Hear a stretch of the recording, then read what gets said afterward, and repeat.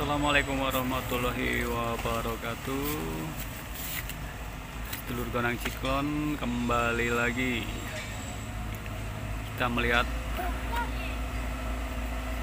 Proses normalisasi Kali Ciliwung Yaitu pengerukan lumpur dan sedimen yang masih terus dilaksanakan ya.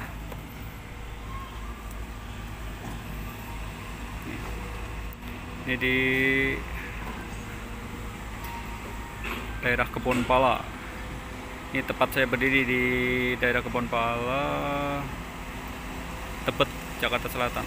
Untuk di area yang seberang sana itu masuk Bidara Cina Kampung Melayu Jakarta Timur. Dan ini masih terus.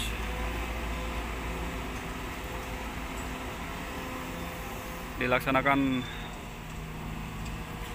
pengerukan lumpur dan sedimen ya. Serta ada loading lumpur juga di area atas sana. Di atas sana itu ada yang sedang loading lumpur. Dan di sini juga ada nih. Nah nah di depan sana juga ada yang loading lumpur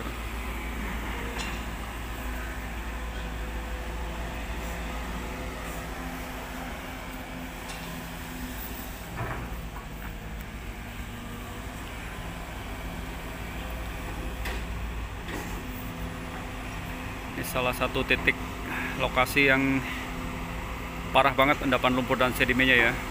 Itu di sini tuh tadinya lumpurnya tertutup lebih dari separuh aliran kali. Nah, itu ada truk yang habis dimuat lumpur. Nah, ya di jalan inspeksi di seberang itu sudah dimuat tinggal menuju lokasi pembuangan lumpur.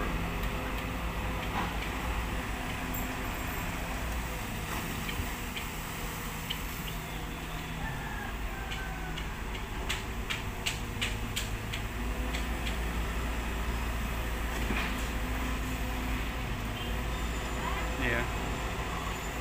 Lumpurnya parah banget, masih parah banget nih.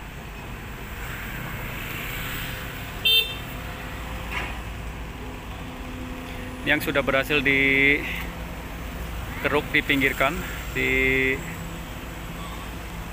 atas sabuk sipil nih. Ini nantinya tinggal loading aja ya. Mudah gampang sudah kering. Nanti tinggal diangkut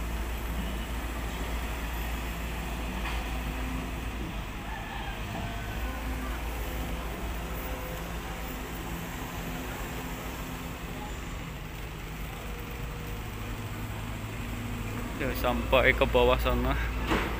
Itu udah.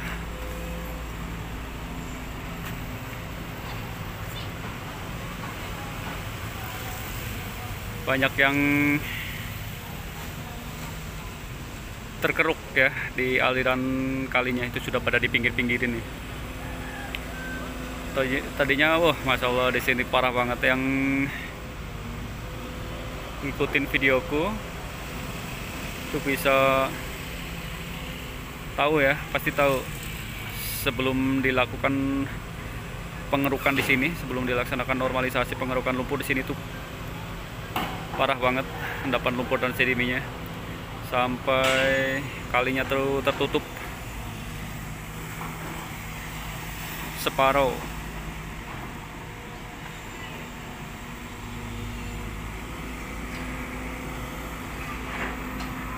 Nah, itu yang di atas itu. Itu juga eskavator buat loading ke truk.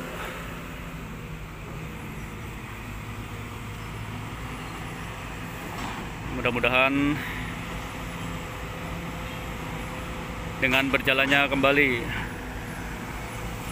proses normalisasi Kali Ciliwung nantinya bisa mengurangi banjir yang signifikan ya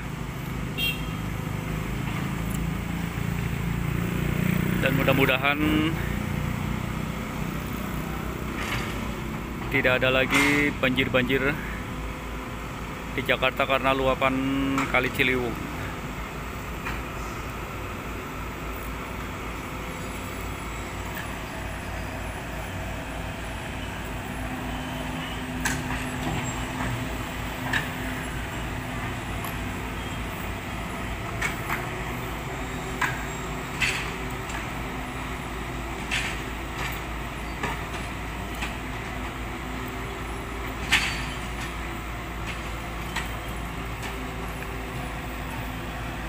Alhamdulillah dari kemarin hujan-hujan terus juga nggak sampai meluap membanjiri warga ya. Ini kalau kemarin belum dikeruk di sini itu pasti pas waktu Ciliwung banjir kemarin warga di seberang sana sudah kebanjiran kena luapan air kali Ciliwung ya. Tapi alhamdulillah kemarin Ciliwung banjir di sini sudah dikeruk jadi tidak sampai meluap ke warga.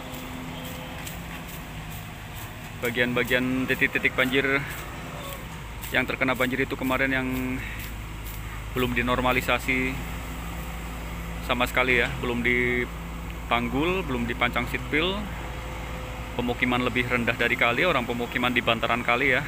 Terus belum dikeruk juga jadi terkena luapan kali Ciliwung